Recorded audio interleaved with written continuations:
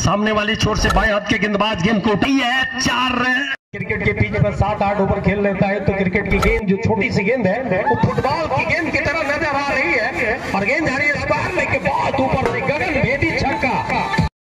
शतक लगा करके सुन रहे हैं।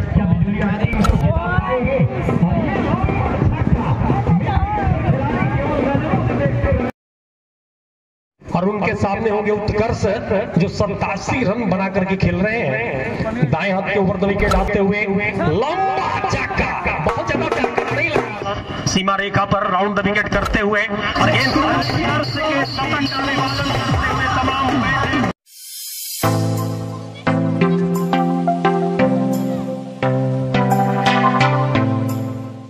गेंदबाजी भी बहुत अच्छा किए थे उत्कर्ष पावर प्ले में एक बहुत अच्छे